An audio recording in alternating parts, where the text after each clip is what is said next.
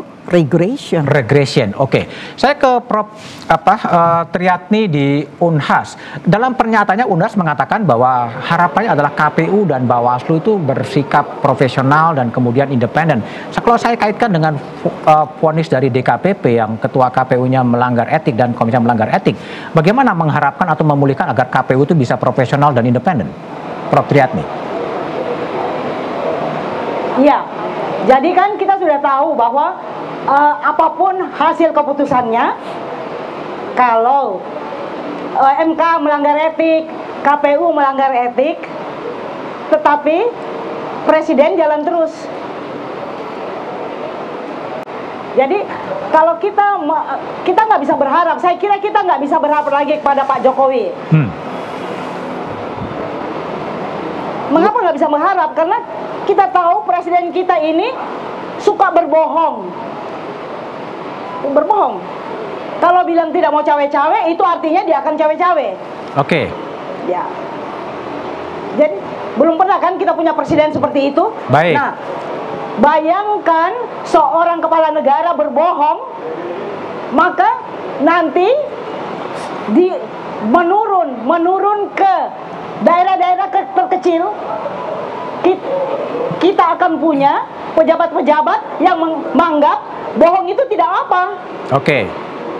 Mungkin berbeda-beda Pak berbeda pandangan ya. Tapi oke, okay, saya ingin minta pandangan Prof Rumadi terlebih dahulu. Ya. Ini gimana istana merespon berbagai kritik-kritik dari para guru besar? Gimana?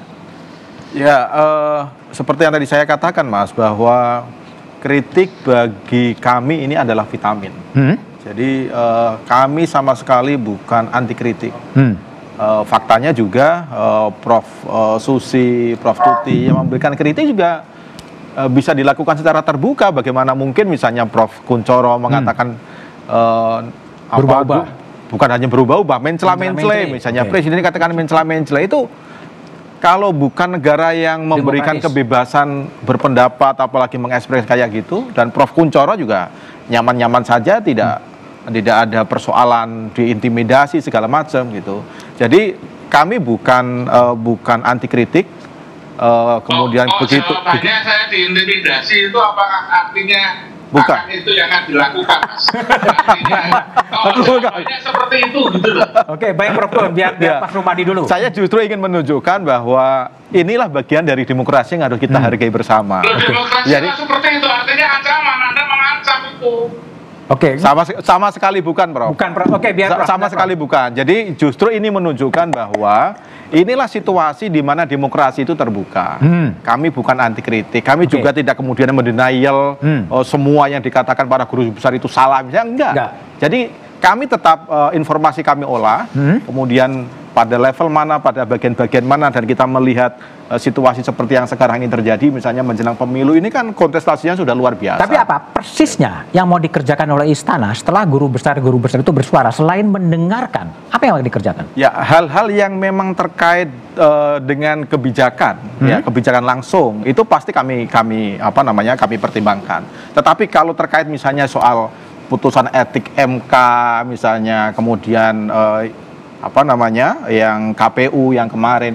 Ini justru bagi kami melihat bahwa mekanisme penegakan etik itu ada. Ada. Ada. Faktanya kan ada. Hmm. MK MK ada. DKPP, DKPP ada. ada. Terlepas dari putusan MK MK itu tidak mempengaruhi putusan MK putusan DKPP tidak mempengaruhi apa yang dilakukan oleh KPU itu kan karena memang normanya begitu. Hmm. jadi kalau misalnya putusan MK MK uh, uh, kalau misalnya hakimnya terbukti melanggar etik putusannya harus ditinjau ulang misalnya. Hmm. Silakan aja para ahli hukum membuat norma itu. Oh. Kan faktanya enggak gitu. Jadi menurut saya bukan tidak ada penegakan etik, justru dengan adanya MKMK, dengan adanya DKPP menunjukkan bahwa etik itu sesuatu yang kita junjung bersama.